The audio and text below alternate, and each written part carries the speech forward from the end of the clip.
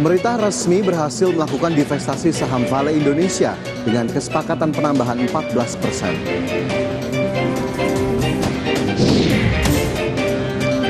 Bulog membantah kenaikan harga beras karena kurangnya stok beras yang dimiliki.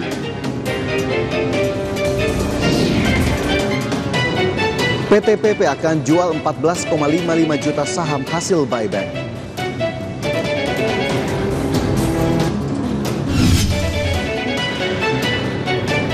Ya, simak perbincangan seputar market hari ini bersama Eza Rido Ibnu Tama, Head of Technical Analysis Hanan Putirai Sekuritas.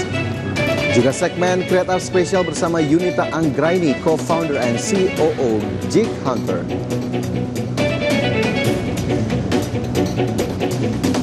Dan pemirsa selain informasi utama tadi sejumlah berita terupdate lainnya akan kami hadirkan dan tentunya Anda juga bisa menyaksikan live streaming kami di idxchannel.com. Saya Fajar Wayong inilah Power Breakfast selengkapnya.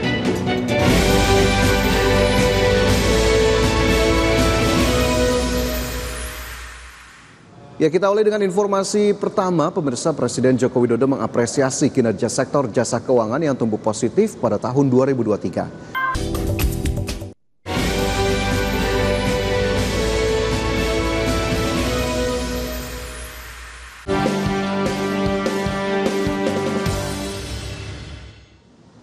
Masih bersama kami dalam Power Breakfast, pemirsa kita ke isu viral hari ini.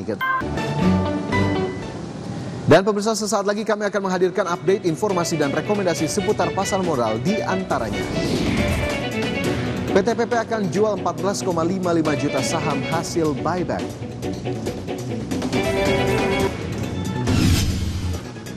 Dan juga simak perbincangan seputar market hari ini bersama Eza Rido Ibnu Tama, Head of Technical Analysis Hanan Putira Sekuritas, juga segmen Create Up Special bersama Yunita Anggraini, Co-Founder and COO Geek Hunter bersama rekan Prisa Sombudato sesaat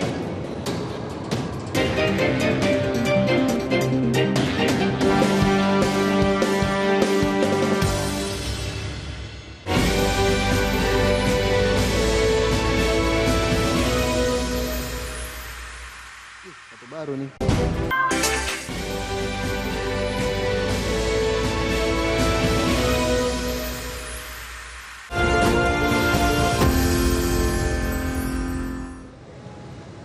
Terima kasih pemirsa Anda kembali bersama kami. Anda menyaksikan segmen Market Bus bersama saya Prisa Sombodatu. Kita mulai informasi pertama di segmen ini dari PT PP Persero TBK yang akan melakukan penjualan saham hasil pembelian kembali atau buyback sebanyak 14,55 juta saham.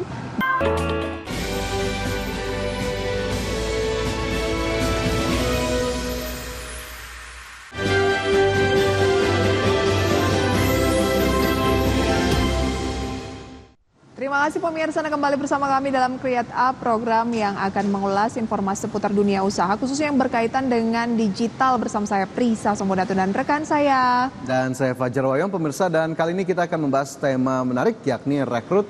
Kali ini pemirsa ya, di mana IHSG berusaha untuk positif lagi dan saat ini naik sekitar 0,9 persen di 7.359 dan sudah 90 menit juga kami menemani Anda dalam Power Breakfast. Semoga apa yang menjadi uh, perbincangan kali ini bisa menjadi referensi sumber informasi untuk Anda. Akhir kata saya Prisa Samodatu. Dan saya Fajar Wayong.